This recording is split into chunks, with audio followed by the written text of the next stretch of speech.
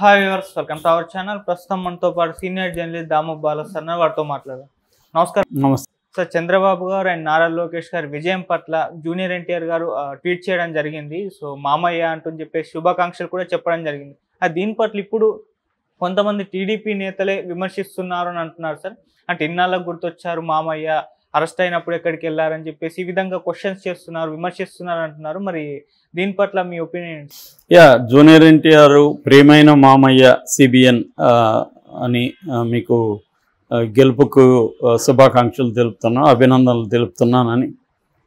అట్లాగే లోకేష్కు తర్వాత నందమూరి బాలకృష్ణ బాబాయ్ ప్రియమైన బాబాయ్ నన్ బాలకృష్ణ ఎన్బీకే తర్వాత వాళ్ళ అల్లుడు శ్రీభరత్ తర్వాత అత్తయ్య పురంధేశ్వరి తర్వాత పవన్ కళ్యాణ్కి వీళ్ళందరికీ కూడా శుభాకాంక్షలు అభినందనలు తెలియజేశాడు. ఆంధ్రప్రదేశ్ అభివృద్ధికి ఇది దోహదం చేస్తుందని నేను నమ్ముతున్నాను అనేది కూడా చేశాడు ట్వీట్ దాంతోపాటు కళ్యాణ్ రామ్ మామూలుగా వాళ్ళిద్దరు ఏ ఏ పని చేసినా ఇద్దరు కలిసి చేస్తారు. సో కళ్యాణ్ రామ్ కూడా సిమిలర్ అలాంటి ట్వీటే చేశాడు. దానికి లో- లోకేష్ సమాధానం ఏమి కనబడలేదు. పవన్ కళ్యాణ్ ఇచ్చాడో లేదో కూడా తెలియదు కానీ చంద్రబాబు మాత్రం రిప్లై ఇచ్చాడు. థ్యాంక్ యూ అమ్మా అని ఇచ్చాడు. సో ఇప్పుడు దీని పట్ల వైరల్ అవుతుంది. ఎందుకు అంటే ఈ ఇప్పుడు బుద్ధి వచ్చింది. ఇన్ని రోజులు ఏమైంది? అరెస్ట్ అప్పుడు కనీసం ఒక మామూలుగా అయితే ఇతను పరామర్శించాలి. అది కూడా లేదు. కనీసం ఖండించాడా? అంటే అది కూడా లేదు. కనీసం పోనీ సానుభూతి నేను బాధపడుతున్నాను అన్నాడా? అది కూడా లేదు. అప్పుడు ఆ తర్వాత మొన్న ఎలక్షన్ల టైంలో అయినా కనీసం బెస్ట్ విషెస్ చెప్పాడా? అది కూడా లేదు. సో మాట్లాడితే మా తాత మా తాత అంటాడు. వీళ్ళ తాత ప్రారంభించిన తెలుగుదేశమే కదా ఇది. సో అంటే ఇతనికి పదవి లేకపోతే ఏదైనా ఇస్తేనే సపోర్ట్ చేస్తాడా? అనేది పెద్ద ఎత్తున చేస్తారు అట్లాగే వైసీపీ వాళ్ళు ఇతను ఉపయోగించుకొని కటౌట్లు ఫ్లెక్సీలు ఇవన్నీ పెడుతుంటే కూడా ఎక్కడ ఖండించడం కానీ అవి నేను నా అభిమానులు చేయలేదని కానీ నా అభిమానులు చేయొద్దని కానీ చెప్పాలి కదా. రాజకీయాల్లో లేనప్పుడు లేనట్టే ఉండాలి. వైసీపీ వాళ్ళు ఉపయోగించుకుంటే మాత్రం సైలెంట్గా ఉన్నాడు. దానివల్ల తెలుగుదేశానికి డ్యామేజ్ అని తెలిసినా కూడా సైలెంట్గా ఉన్నాడు. సో ఇవన్నీ ఏంటంటే అతను వైసీపీ మళ్ళీ అధికారంలోకి వస్తుంది. మనం వీళ్ళని ఎందుకు కేర్ చేసేది అన్నట్టుగా ఉన్నాడు. ఇప్పుడు వైసీపీ నేలమట్టం అయిపోయేసరికి అతనికి కూడా భయం స్టార్ట్ అయింది.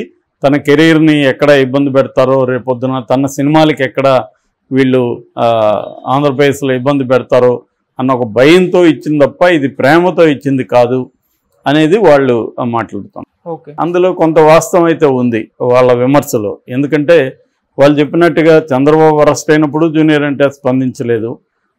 కనీసం ఎన్నికల ముందు కూడా ఎవరికి అభినందనలు తెలియజేస్తూ లేదో బెస్ట్ విషెస్ తెలియజేస్తూ గెలవాలని కోరుకుంటున్నట్టు అవేమీ లేదు. అట్లాగే వైసీపీ వాళ్ళు జూనియర్ ఎన్టీఆర్ని ఉపయోగించుకుంటున్నప్పుడు కూడా ఎక్కడ ఖండించలేదు. సో రాజకీయాలకు దూరంగా ఉన్నప్పుడు కంప్లీట్గా ఉండాలి? ఎవరైనా తనది ఉపయోగించుకుంటుంటే డిస్క్లైమర్ వేయాలి. నేను అది నాకు సంబంధం లేదు అని అభిమానులకు కూడా చెప్పాలి. మీరు మీ ఇష్టం వచ్చిన వాళ్ళకి మద్దతు ఇచ్చుకోండి కానీ ఒక పార్టీకి యాంటీగా నా కటౌట్లో నా ఫ్లెక్సీలను పెట్టడం కరెక్ట్ కాదు అనేది అన్నది చెప్పుండాలి తను. అప్పుడు ఇతని నిజాయితీ కరెక్ట్గా ఉంటుంది. సో ఇండైరెక్ట్గా ఇతను వైసీపీకి ఉపయోగపడడానికి తెలుగుదేశంకి వ్యతిరేకంగా ఉండడానికి ఇండైరెక్ట్గా డైరెక్ట్గా ఏమి చేయలేదు అతను. యాక్టివ్గా ఏమీ లేదు. కానీ ఇండైరెక్ట్గా ఉపయోగపడ్డాడనేది వాస్తవం. సో ఆ మేరకి ఇప్పుడు అది కొద్దిగా షాకింగే అందరికి కూడా. సడన్గా ప్రియమైన మామయ్య ఎప్పుడైపోయాడు చంద్రబాబు? మరి అంత ప్రియమైన మామయ్య జైలుకి వెళ్ళినప్పుడు నువ్వు ఎందుకు గమ్మునున్నావు? అనే ప్రశ్నలు ఖచ్చితంగా జూనియర్ ఎన్టీఆర్ ఎదుర్కోవాలి. మేబీ జూనియర్ ఎన్టీఆర్ చాలామంది అనుకున్నట్టే జూనియర్ ఎన్టీఆర్ కూడా టైట్గా ఉంది కానీ ఎడ్జి వైసీపీకి ఉంది అనేది చాలామంది అప్పుడు చెప్పింది.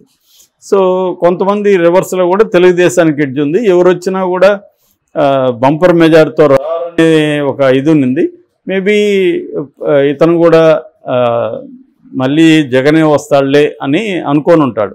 ఈ విధంగా జరుగుతుందంటే ముందే ఇచ్చుండేవాడు ఖచ్చితంగా.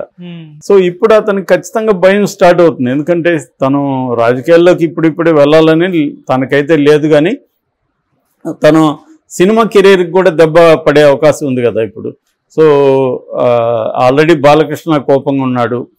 ఇతను బ్యానర్లు పెట్టినప్పుడు అప్పుడైనా ఖండించి ఉండాలి వాళ్ళ తాతగారి వద్దంతప్పుడు కూడా బ్యానర్లు పెట్టి సీఎం కాబోయే సీఎం అని స్వాగతం అని. ఎందుకంటే అక్కడ వర్ధంతి దగ్గర ఈయనకి స్వాగతం ఎందుకు పలకాలి ఎవరైనా? దాన్నైనా ఖండించి ఉండాలి సో అట్లాంటివి ఏమి చేయలేదు. అట్లాగే సజ్జయంతికి చంద్రబాబు ఆహ్వానించినప్పుడు కనీసం వెళ్ళేసి ఉంటే కూడా ఇతని పట్ల కొంత సానుభూతి ఉండేది.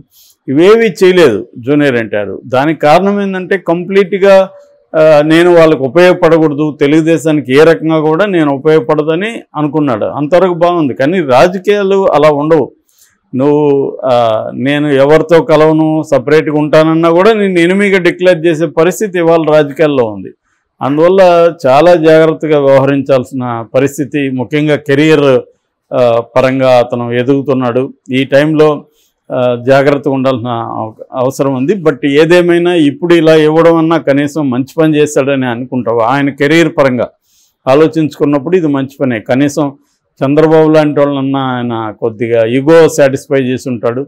వాళ్ళు కూడా చంద్రబాబు లాంటి వాళ్ళు ఏంటంటే ముందు చూపు ఉంటుంది ఆయనకి. రేపు పొద్దున జూనియర్ ఎన్టీఆర్ పవన్ కళ్యాణ్ ఇదే స్నేహం ఎలకాలం ఉంటుందని గ్యారంటీ లేదు కదా.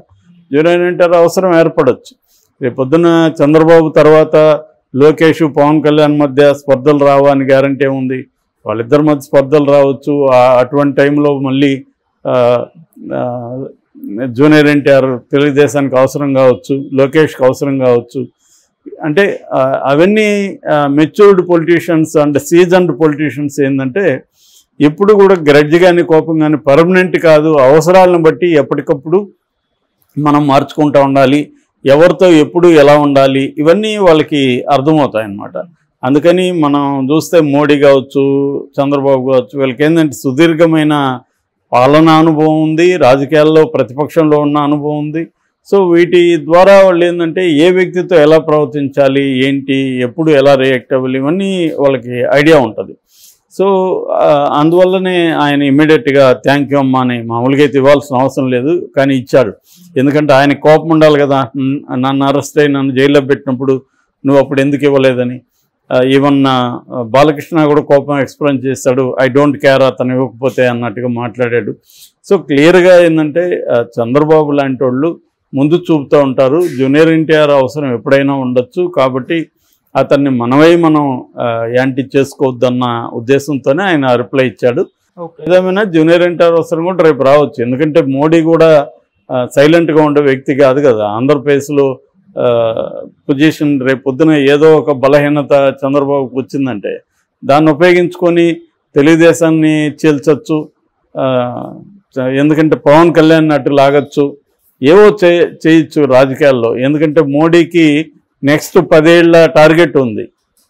సో ఇప్పుడు బలహీన పడ్డాడు. సో ఈ బలహీనాన్ని బలంగా ఎలా మార్చుకోవాలి? రాజకీయ నాయకులు ఏం చేస్తారంటే క్రైసిస్ని తమకు అనుకూలంగా ఎలా మార్చుకోవాలనేది ఎప్పుడు ఎవరైతే మార్చుకోగలుగుతారో వార్లైనా పాలిటిక్స్లైనా వాళ్ళే విన్నర్స్గా ముందుకెళ్తారు.